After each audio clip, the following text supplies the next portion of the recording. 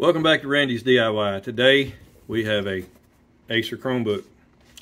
Matter of fact, it's an Acer C722 series and I'm going to let you in on a little secret.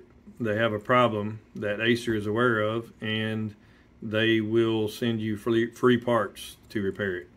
So let's get into it. Acer C722 series Chromebook and it says screen keeps going on and off and that is a common known issue with these. And I'm going to show you how to change the screen on them so if you notice black it's powered on it's black. Sometimes you can tap on them make them come on most of the time not. Sometimes you open it up and close it it'll flash. So here's what we're going to do. Take you a little spudger go into the corner, just keep prying out. These are really easy to get off, unlike Dell's.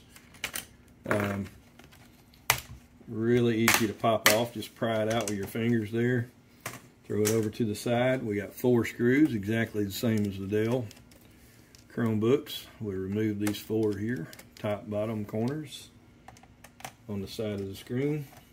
They're a little black screw. Get these four removed. Lay the uh, Chromebook screen over. I like to use an X-Acto knife here and we just start right on this side and slice underneath it. Once you get it sliced over, fold that back, grab it with your finger, pull it over. Once it pops loose, we'll take this tape, hold it up, and flip this same little spring up stick it to the tape, pinch the spring and the tape together, and just kind of twist it off. Screen's out. Let me go grab another screen. We'll put it in there. That screen, you should be able to call Acer and tell them that you have a defective screen on your Chromebook. Even if the Chromebook's out of warranty, they might still replace it for you. I'm going to pause the video for a second while I go get a screen. Okay, here we are back with the screen, new shiny screen. And basically just like the Dell, if you've seen some of my other videos, we'll slide this back here, lay it down flat, carefully line this up,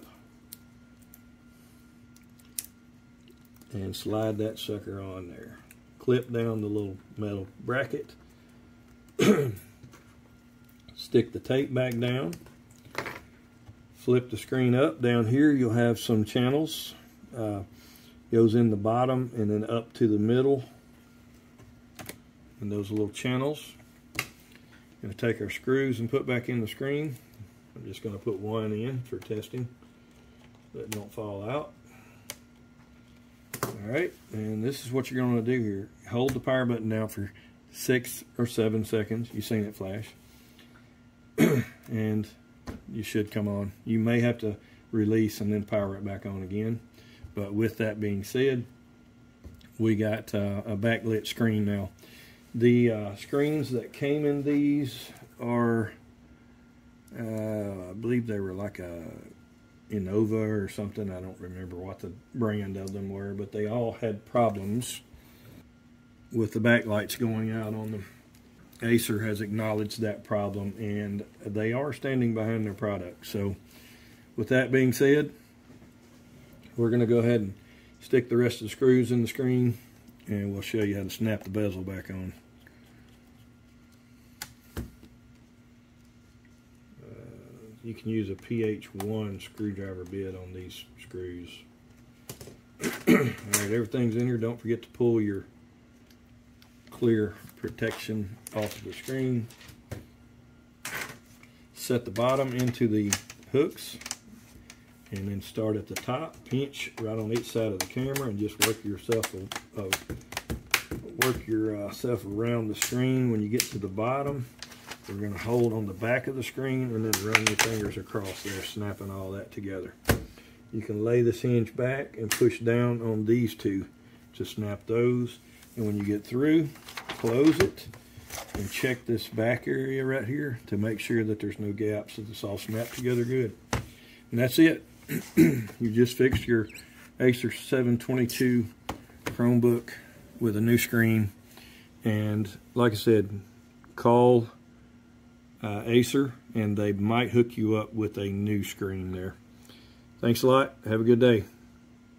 Don't forget to press the like button, comment, subscribe. Uh, if it helped you out, save some money, click on the super thanks button.